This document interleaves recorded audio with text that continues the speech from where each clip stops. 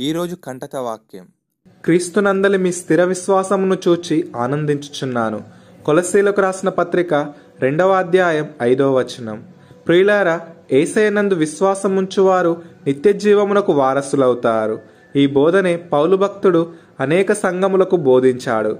తన సంఘమైన కొలసీలకు ఈ మాటను వ్రాస్తూ మనుషుల మాటల వలన మోసపోని విశ్వాసము వారికి ఉన్నందున వారిని బట్టి పౌలు భక్తుడు ఆనందిస్తున్నాడు.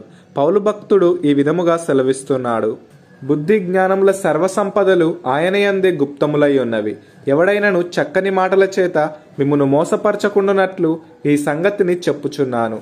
నేను శరీర విషయంలో దూరముగా ఉన్నను ఆత్మ విషయంలో మీతో కూడా ఉండి మీ యోగ్యమైన ప్రవర్తనను క్రీస్తునందలి మీ స్థిర విశ్వాసమును చూచి ఆనందించుచున్నాను. కావున మీరు ప్రభు అయిన క్రీస్తుయేసును అంగీకరించిన విధముగా ఆయన యందు వేరుపారిన వారై ఇంటి వలె కట్టబడుచు మీరు నేర్చుకొనిన ప్రకారముగా విశ్వాసమందు స్థిరపరచబడుచు కృతజ్ఞతాస్థుతులు చెల్లించుటయందు విస్తరించుచు ఆయన యందుండి నడుచుకొనుడి. ఆయనను అనుసరింపక మనుషుల పారంపర్యాచారమును అనగా ఈ లోక సంబంధమైన మూలపాఠములను అనుసరించి మోసకరమైన నిరర్థక తత్వజ్ఞానము చేత మిమ్మును చెరపట్టుకొని పోవాడెవడైనా ఉండునేమో అని జాగ్రత్తగా ఉండుడి. ఏలయనగా దేవత్వం యొక్క సర్వపరిపూర్ణత శరీరముగా క్రీస్తునందు నివసించుచున్నది. మరియు ఆయన యందు మీరును సంపూర్ణులై ఉన్నారు. ఆయన సమస్త ప్రధానులకును అధికారులకును శిరస్సై ఉన్నాడు అని. ప్రియులార వాక్యమే మనకు వెలుగై ఉన్నది. ఆ వాక్యమైన దేవుణ్ణి మనం మన హృదయంలో ఉంచుకొని ఆ వాక్యం చెప్పినట్టుగా జీవించినట్లయితే మనం దేవుని చేత గొప్పగా హెచ్చింపబడతాము. అంత్య దినములలో అపాయకరమైన సంగతులు జరగనై ఉన్నాయి. అబద్ధ బోధకుల వలన అనేకులు దారి తప్పి వారి జీవితాలను నాశన కూపంలోనికి నెట్టివేసుకుంటారు.